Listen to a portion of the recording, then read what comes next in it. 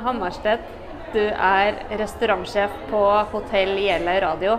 Stemmer bra. Og nå har dere satt i gang eh, Afternoon Tea. Yes. Du, Er det du som eh, kom med den ideen? Det var vel egentlig hotelldirektøren som er veldig glad i eh, England og det britiske. Hun Ja. tok jo butlerutdannelse i England faktisk Ja. en gang i tiden, så det er hun som har best peiling på det. Men så har vi drøfta litt fram og tilbake, og så har vi gjort det ganske sånn felles hvordan vi skulle servere det og presentere allting og markedsføre og sånn. Ja.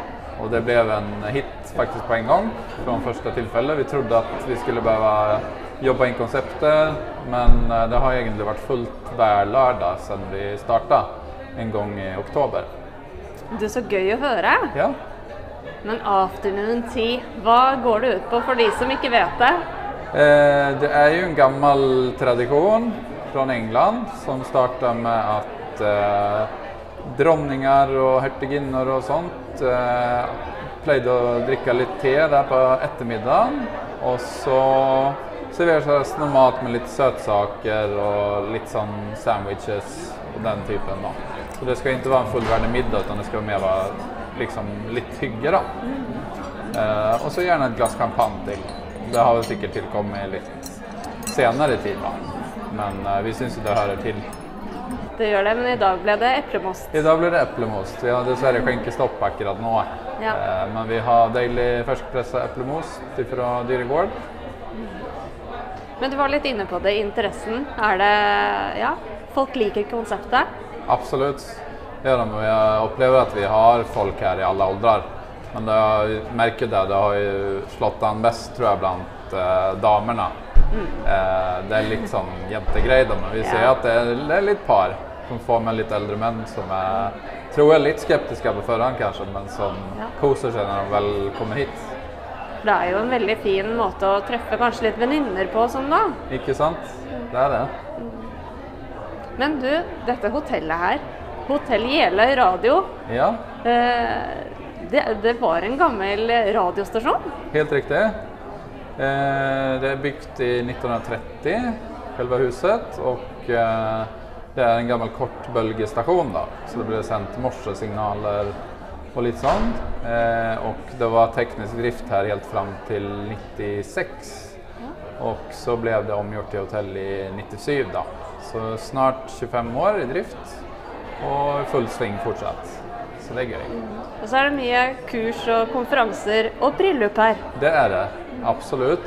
Eh, og det var jo litt det vi opplevde. Vi har ikke fått lov å ta imot så mange folk i år, da. Men vi er vant til å ha store bryllup med opptil 100-120 mennesker.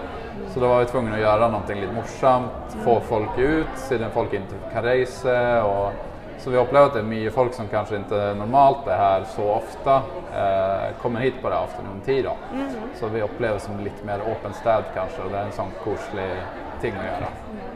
Men hvordan løser dere det med folk og sånn, da? Dere klarer å opprettholde koronareglene og Det gjør vi absolutt. Vi har til og med hatt eh, flere her fra kommuneoverlegens kontor som har vært og spist. Så de har godkjent det på plass og sagt at det er veldig trygge omgivelser. Så det er en meter mellom hvert husstand, det er en meter mellom borden og håndsprit overalt. Og vi servitører bruker munnbind når vi serverer også. Og så er det to bordsetninger også. Vi har to bordsetninger. Første klokka 13. Og så har vi nummer to 15.15. da. Man får litt sånn følelsen av å være i England når man er her, Synes Ja, du ikke? ja, men det er hyggelig å høre. Det er det vi strever etter. Ja. Vi har jo vært og skrota rundt i hele Østfold på Fretex og på finn.no etter eh, gammelt porselen. Så det er ingenting Ja. som vi har kjøpt nytt, så allting er egentlig brukt. Og det meste er britisk da. Så det er vi Så, stolte ja. av. Ja, så vi får mye positive kommentarer på at uh, vi har pent uh, porselen og minner litt om bestemor og litt sånt. Tror jeg. Miriam, hva syns du om Afternoon Tea? Det syns jeg var kjempespennende. Aldri vært på det før. Eh, veldig glad i å reise, så å oppleve noe litt sånn annerledes, men så nærme som på Jeløya i Moss, syns jeg jo var kjempegøy.